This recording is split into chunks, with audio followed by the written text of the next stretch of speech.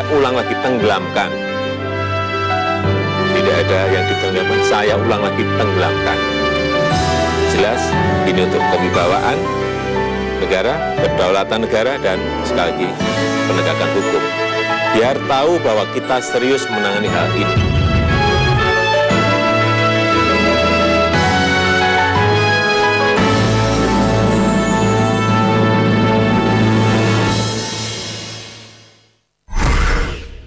Presiden Joko Widodo mengklaim dua bulan pasca dilantik program pemerintahnya telah mencapai sejumlah target. Meski demikian, mantan gubernur DKI itu akan memaksimalkan program yang sudah berjalan, di antaranya Kartu Indonesia Sehat dan Kartu Indonesia Pintar.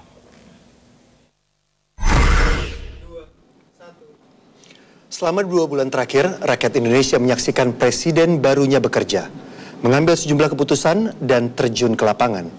Beberapa pembantunya pun telah unjuk gigi di kementeriannya masing-masing.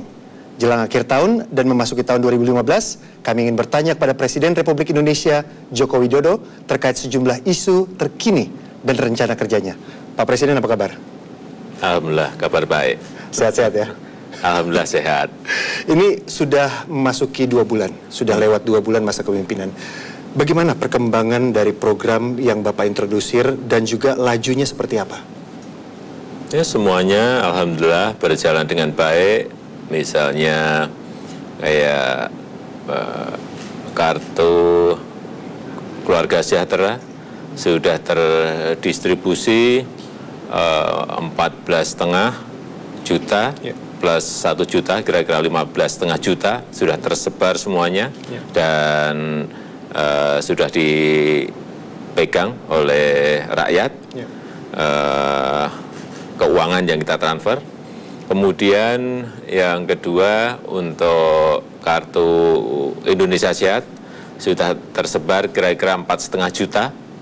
Dan untuk kartu Indonesia Pintar memang masih menunggu karena apa ada beberapa hal yang perlu eh, kita eh, perbaiki. Baru tersebar kira-kira 152 ribu kartu. Ya. dan kita harapkan nanti 2015 semuanya sudah insya Allah sudah selesai.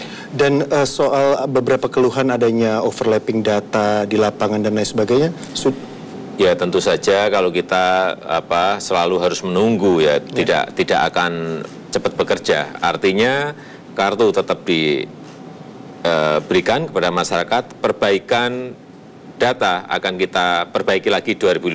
Ya. Tetapi memakan waktu kurang lebih enam bulan. Jadi kalau kita harus menunggu enam bulan lagi buat saya terlalu lama. Jadi ini berjalan, eh, kemudian perbaikan data juga berjalan, semuanya paralel. Ya. Dan tahun eh, 2015 kita juga ingin apa segera membangun 13 waduk dari 49 waduk yang kita rencanakan dalam lima tahun. Dan kemarin juga sudah kita laksanakan yang pembangunan satu waduk yang pertama di Nusa Tenggara Timur, Waduk Raknamo. ya. Dan ini arahnya ke swasembada, swasembada pangan ini ya. Iya betul, arahnya fokusnya ke sana semuanya. Pembangunan waduk, pembangunan irigasi. Ya. Ini yang mau kita terus fokus kerjanya ke sana dalam rangka swasembada eh, beras nanti kurang lebih tiga tahun, kemudian gula, kemudian kedelai, kemudian jagung, terus. Ini yang yang banyak mendapat perhatian masyarakat juga sering kali Bapak Presiden menyampaikan itu soal penenggelaman kapal. Itu Musrembangnas saya ingat sekali saya menyaksikan langsung bahwa Presiden menyampaikan. Saya pikir ketika Bapak Presiden baca ini udah mau berhenti ganti topik. Diulang lagi soal penenggelaman kapal. Terus Bapak menyampaikan kenapa nggak bisa ditenggelam? Kenapa instruksi itu harus diulang tiga kali? Habis itu Bapak baca catatan lagi, Bapak masih ulang lagi. Kenapa begitu geram Bapak Presiden? Ini penting sekali. Yang pertama masalah kedaulatan negara. Oke, Yang kedua masalah kewibawaan negara. oke. Yang ketiga masalah penegakan hukum yang penting sekali bagi negara ini.